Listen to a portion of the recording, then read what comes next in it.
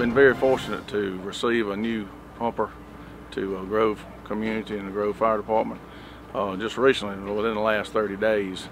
And as we were maneuvering things around in the station and trying to, you know, get things organized, um, we had a few made some suggestions. Hey, you know, they got the new program at AIT, and I understand they need a, a truck or an apparatus to, to have realistic training on.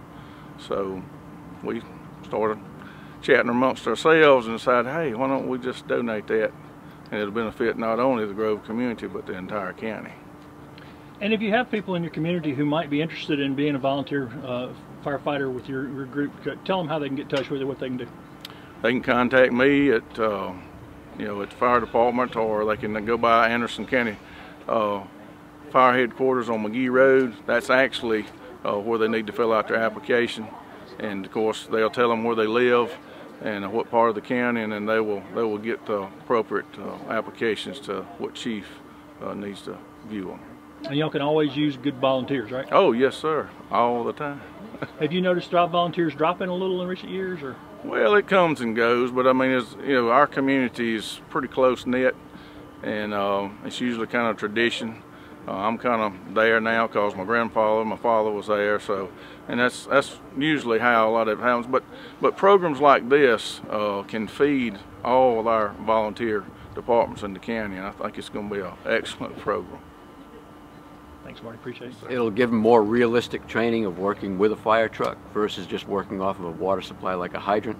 It'll give them some hands-on experience on how to pack hose properly, how to deploy that hose off the truck properly while it's charged.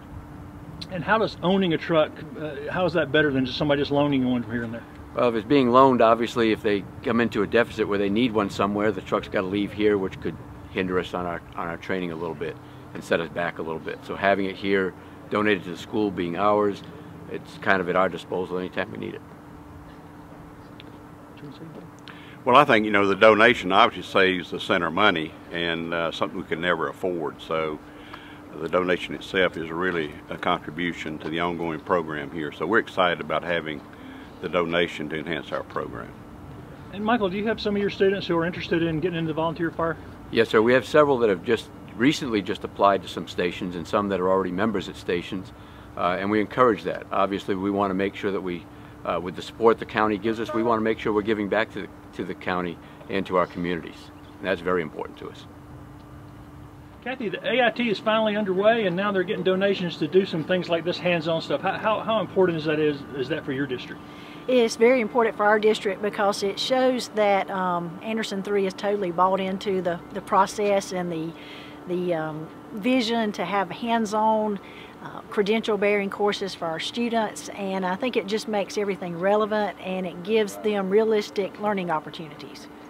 And you think they're going to let you drive the fire truck at all? I doubt it. I doubt it. Uh, I'll, I'll, get in and maybe take a picture, but you don't want me behind the wheel. Institute Technology is up and running, and talk a little bit about how this donation today helps make uh, the mission uh, better and more possible.